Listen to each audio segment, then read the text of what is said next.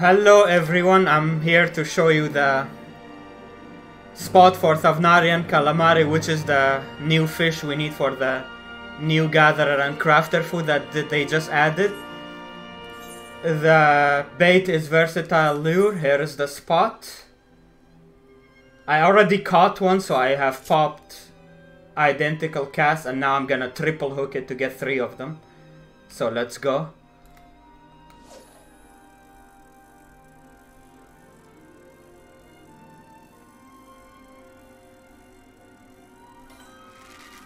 Triple hook.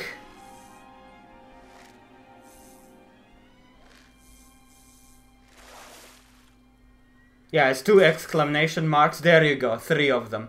Easy peasy.